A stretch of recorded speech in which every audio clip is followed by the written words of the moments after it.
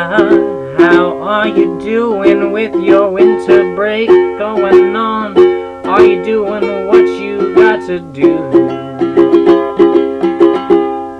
Scratching my armpit. Are you being you? You're not getting into trouble. You keeping your head up, doing what you gotta do to be the best you you can be. And as we can see, you're doing all you can do is be happy, cause as long as you're just being happy, you're living life to the best of your abilities.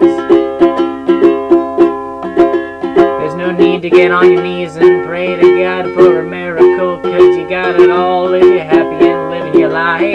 You're gonna be somebody's wife when he gets out of the war, doing his chore, being an active member of society. Tell him from me that I am so what can to be a part of the U.S. Army.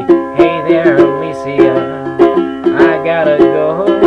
Or is it pronounced Alyssa? I do not know if I botched the job on your name. I'm sorry, but I gotta go. Thanks stopping by the show.